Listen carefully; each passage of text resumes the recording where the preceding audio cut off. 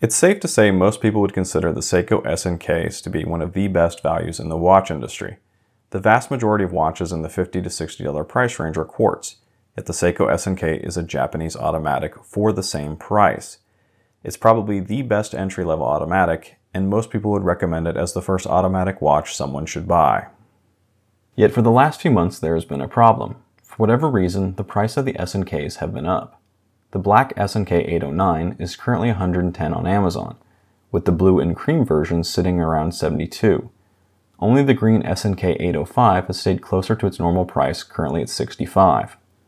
Now, with the exception of the SNK 809, they're still undoubtedly a good value, but it begs the question as to, with the price increase, are they still the best entry-level automatic? So I thought it'd be interesting to do a video where I'd compare an SNK to another entry-level automatic that I recently acquired, a Vostok Amphibia. Since this is my first comparison video, I plan to do this in two parts. The first, to empirically compare the watches over 10 categories. Compare the watches in those categories and award one point accordingly, then sum up the points. The second part is giving you my personal opinion on whether or not I agree with that evaluation. So for the first category, let's start with the quality of the cases. Both are a stainless steel, but mirror images of each other. While the Vostok has a polished look on most of the case, with a brushed case back, the SNK has a brushed look on top, with a polished look on back. The Vostok's bezel is brass, and possibly the crown as well. Although this is a moot point for me, as a Seiko doesn't even have a bezel, and has a tiny inconvenient little crown. In my opinion, the finishing of the Seiko SNK is better than the Amphibia. Now, my Amphibia arrived with a very fine scratch on its side, but I will give them the benefit of the doubt that this is just a random occurrence that I happen to get. But regardless, the edges on the case of the Amphibia are just a little bit sharper than the Seiko's. On the back of the watches, you have two very different approaches. The Seiko has an exhibition caseback with Hardlex crystal, while the Vostok has its more unique caseback with a separate ring that screws down and hold it in place. The finishing of the Vostok's caseback is just a little bit rougher than the rest of the watch. Back to the front of the watches, the Seiko has a Hardlex crystal, while there's an acrylic on the Vostok. But it's not quite that simple, as the Vostok's acrylic crystal is also a domed crystal. Now it's hard to count the Vostok's acrylic crystal against it, as the material and the shape play a key role in improving its water resistance. But regardless, I think the Seiko SNK has a better quality case its finishing, as well as its exhibition caseback, being the major factors. Now let's talk about the quality of the straps that come with both watches. And this is an easy one, considering I don't actually have the factory bracelet on my Vostok, and more to the point, I refuse to put it on. But let me elaborate. The SNK has a nylon strap, usually in a color matching its dial, it's nothing fancy, but it is thick with good quality hardware. It may not be the most stylish thing, but it should last you a while. Now while the Amphibia does come with a metal bracelet, I think it is possibly one of the worst bracelets I have seen. It has very thin metal, lightweight, and an absolutely horrid clasp. Which is why I immediately took it off. So while the Amphibia does come with a metal bracelet, I think the Seiko SNK's nylon strap is much more usable and longer lasting. So with that in mind, I give the point to the Seiko in this category. So onto the movements of the watches. Both watches have automatic movements, with the Seiko having the well-tested 21 jewel 7S26 whereas the Vostok has its own 31 jewel 2415. I think the Seiko also wins in this category, but again let me elaborate. The Vostok has hand winding, which to me is a major advantage. but its power reserve is listed at only 31 hours, and it runs about 19,800 beats per hour. Compared to the 7S26, which has a reserve around 40 hours and runs at 21,600 beats per hour. Also, the Seiko has both day and date complications. And just as importantly, the day and date are quickset, something the Vostok lacks. But most important to me is the spec accuracy of each movement. I believe the Seiko 7S26 should be around plus or minus 25 seconds a day, while the Vostok is listed at negative 20 to plus 60 per day. Now the watch that you receive will probably and hopefully be better than spec, but it's what's guaranteed coming out of the factory that I think is important, especially for people who don't know how to regulate their own watches. So on that regard, I think the Seiko's movement is better. Let's talk about what I call functionality and usability, which for me is not only how does the watch work as a timepiece, but how does it wear as well. In many ways, this category isn't really a fair comparison.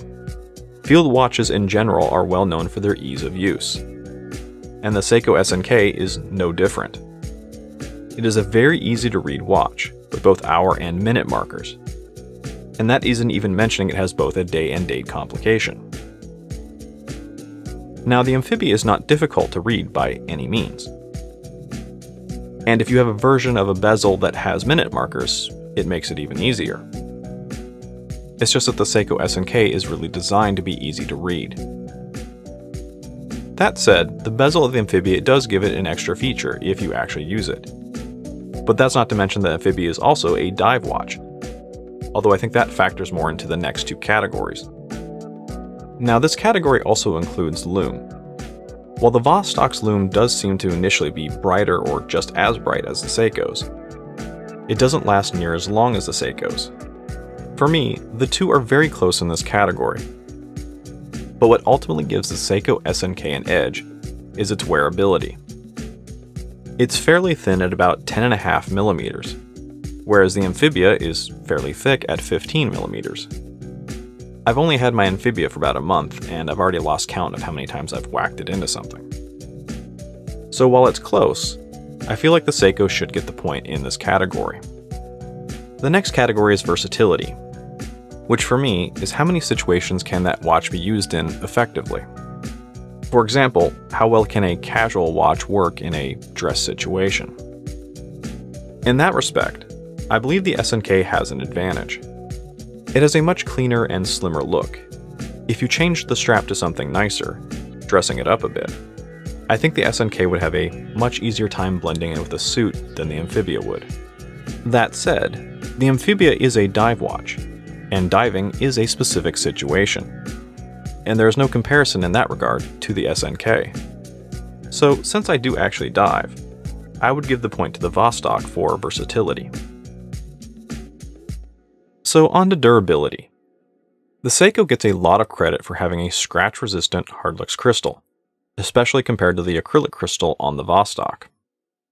But the Seiko SNK has a low water resistance of only 30 meters, while the Vostok is rated down to 200 meters.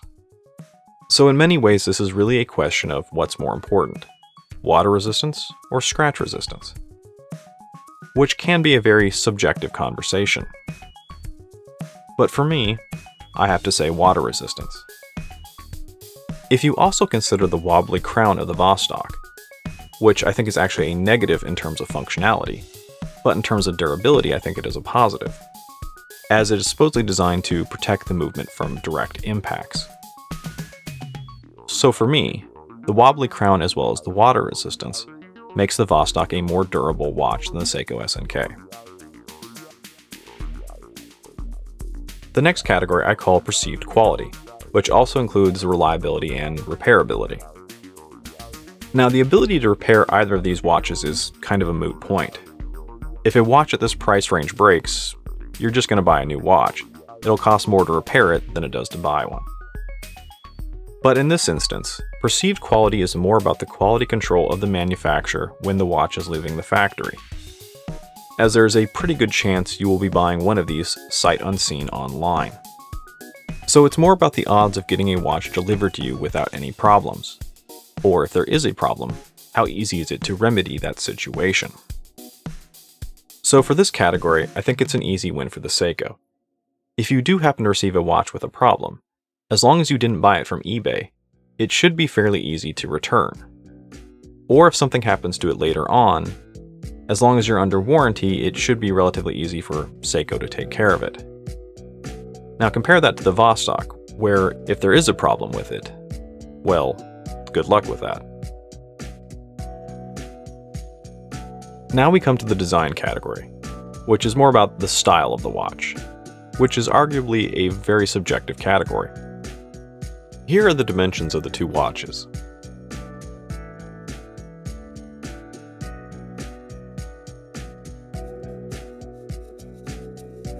Now the Seiko SNK is a no-nonsense field watch, and regardless of which of the four colors you choose, you'll get a very usable, clean-looking watch which makes it an extremely functional watch. But that also makes it a very boring looking watch. Which is why I think the Vostok easily wins this category. If you have seen my review of this Amphibia, you'll know that I love this dial with the metal flakes that shimmer in the light. But even beyond that, there are a multitude of different cases and dial combinations for the Vostok Amphibia. So depending on your tastes, you should find one that you like. Now throw in a domed crystal, and the Vostok is an easy choice for this category. The second to last category is what I call uniqueness. If someone were to ask you about this watch, how much of a story do you have to tell about it? What is it about the watch that makes it special, unique, or interesting? And again, I think the Amphibia easily wins this category. For the Seiko SNK, what really makes it special is that it's a very cheap automatic Seiko, where the Amphibia is a much more interesting watch, from a unique history to the oddities of its unique design. Now the last category, value, which again is very subjective. Monetarily speaking, I want to say that both of these watches are on par with each other. Even if the price of the Seiko SNKs go back down, you can occasionally get a good deal in a Vostok, now with the Seiko SNK, you are getting a low entry point into the world of Japanese automatics. It's a great watch from a great quality brand. Whereas with the Amphibia, you're getting a very dive capable watch at a fairly low price. I think it's a close call when it comes to value, but I think in the end, the Seiko has the better value. So looking at the totals, the Seiko SNK wins with 6 points, compared to the 4 points for the Vostok Amphibia. So from an empirical approach, the numbers say that even at a slightly higher price, the Seiko SNK is still the best entry-level automatic. And I completely agree with it on a personal level, especially for someone that is looking for their first automatic. The Seiko would give them a better sense of what to expect from other watches moving forward, where the Vostok's quirkiness may be a little confusing. So for most people, I would always recommend a Seiko SNK over a Vostok Amphibia. With one possible exception, if you are or are planning on becoming a collector of watches. In which case, uniqueness plays a much more important role in making a decision. For me, collecting watches is about getting a taste of everything. Getting a taste of different brands, different types, and even watches from different countries. For me, there are many great Seikos and honestly better Seiko watches out there than the SNK, that it would only be a matter of time before I bought another one, at which point the SNK doesn't really fit any particular niche in my collection, so I don't really think it has much long-term staying power for a collector. Now compare that to a Vostok Amphibia, which is quirky and unique and there really isn't much out there like it. I think it has much more longer staying power in a collection and in that way more value to a collector. Regardless, they're both great entry-level automatic watches that bring a lot of value to the table and you really can't go wrong with either one. But let me know which watch you prefer in the comments and why. And as always, like, comment, and subscribe. Thanks for watching.